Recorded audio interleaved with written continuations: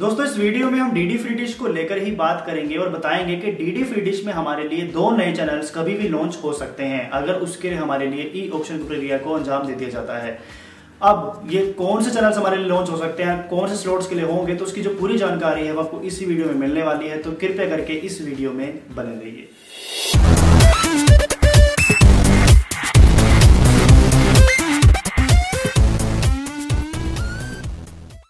दोस्तों, चैनल पर पहली बार आए हैं तो चैनल को सब्सक्राइब कर दीजिए, बेल आइकन को भी दबा दीजिए, ताकि आपको हमारी वीडियोस की नोटिफिकेशन सबसे पहले मिलते रहे। तो बताना चाहता हूँ, कुछ वक्त पहले ही आपको मैंने यहाँ पर बताया है कि डीडी फ्री की ओर से M P E G four slots के लिए भी पैंतालीसवीं ई ऑप्शन कभी भी प्रो राटा बेसिस पर की जा सकती है।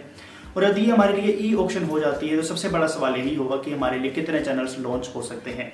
अभी की बात करें तो यहाँ पर केवल दो ही स्लोट्स मुझे नज़र आ रहे हैं, जिसकी जगह पर हमारे लिए नए चैनल्स लॉन्च हो सकते हैं। सबसे पहले जो स्लोट है वो है आर एन टीवी नेशनल का। कलर बार्स ही पेश कर रहा है। और दूसरा स्लोट है एबीपी गंगा का, क्योंकि एबीपी गंगा पहले से ही हमारे लिए एनपी इंस्टीट्यूट में अभी तक मौजूद है। लेकिन कहीं ना कहीं अगर आगे चलकर एबीपी गंगा अपने स्लोट को रिन्यू करवा लेता है तो वो तो वैसे ही बना रहेगा।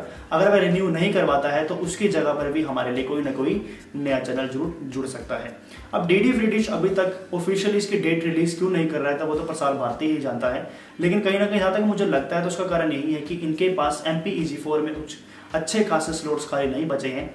तो हो सकता है कि इसी वजह से इंतज़ार कर रहे हैं कि कोई स्लॉट हमारे लिए खाली हो तो ई ऑप्शन की प्रक्रिया को शुरू किया जाए। तो फ़िलहाल जो है, केवल दो ही हमारे लिए नए चैनल्स यहाँ पर जुड़ सकते हैं। अभी दो चैनल्स कौन से होंगे, उसको लेकर तो अभी तक कोई खबर नहीं है, लेकिन आप ऐसे कौन से चैनल जो चाहते हैं कि एमपीजी फोर स्लॉट में हमारे लिए इन दो स्लॉट्स पर लॉन्च कर दिया जाए तो उसकी जो पूरी जानकारी है, वो नीचे मुझे आप अपनी कमेंट के माध्यम से दे भी सकते हैं। कृपया करके इस वीडियो को लाइक ज़रूर कर दीजिए और दोस्तों से शेयर कर दीजिए, ताकि उनको भी इसी तरह की बड़ी बड़ी खबरें सबसे पहले मिलती रहे। नमस्कार